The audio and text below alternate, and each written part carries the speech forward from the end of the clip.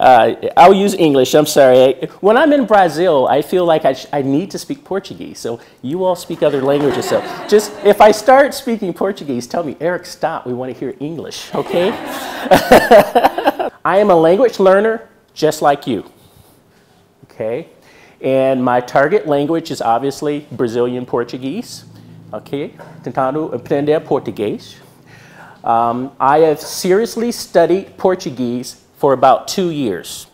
So when you hear me speak Portuguese, I've only been working on it for two years, which I think I've made a lot of progress in two years, which is part of the reason why I'm here.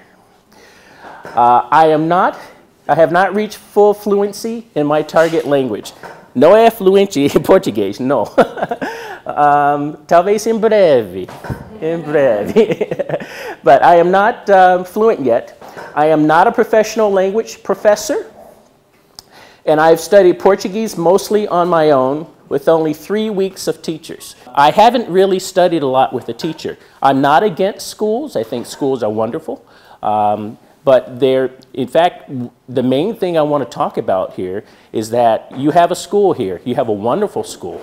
But if you want to progress faster, there's things that you can do on your own to help you progress faster. And that's some of the things I want to talk about. You have an opportunity to speak with an American.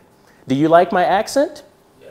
And, and I know in a school like this, they try to encourage you to do that. You have your classes, but also you have a Fisk tool that you use on the internet for practicing your language. Cyberfisk. Cyberfisk. Muito obrigado por tudo. Tchau, tchau.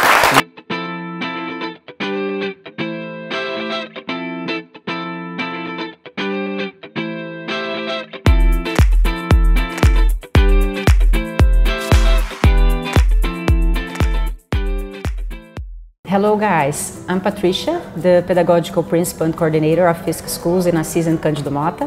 Uh, I'm here today with our guest, Eric Washington from the United States.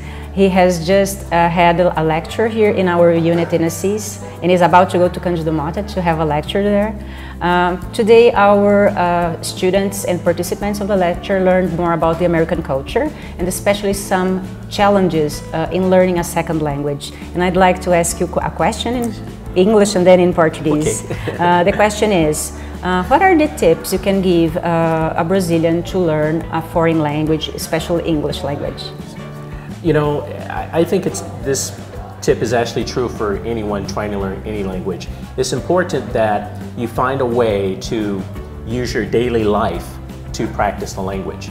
Um, it's not sufficient to wait until you have a class in a school.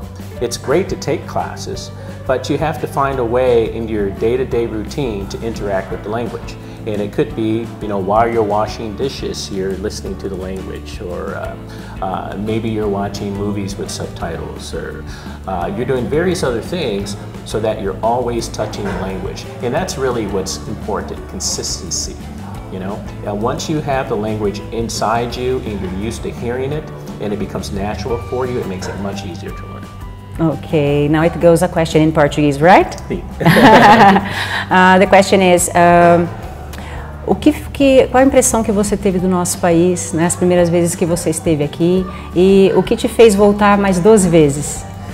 Uh, o que eu uh, gosto mais sobre uh, no Brasil? É, sobre...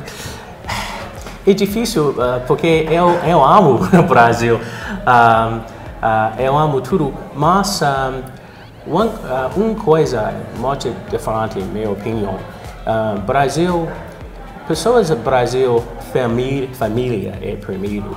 Família. Um, Estados Unidos uh, é família é importante, mas um, uh,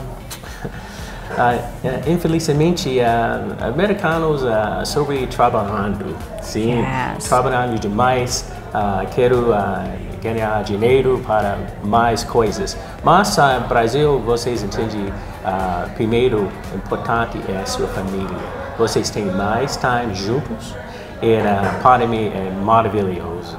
Vocês, uh, você entende, e a uh, família é muito importante. Thank you. Thank you for your visit and welcome to our country. Thank you very much. Thank I'm you so very glad much. to be here. Bye bye, guys. Bye-bye. Ciao. Thank you.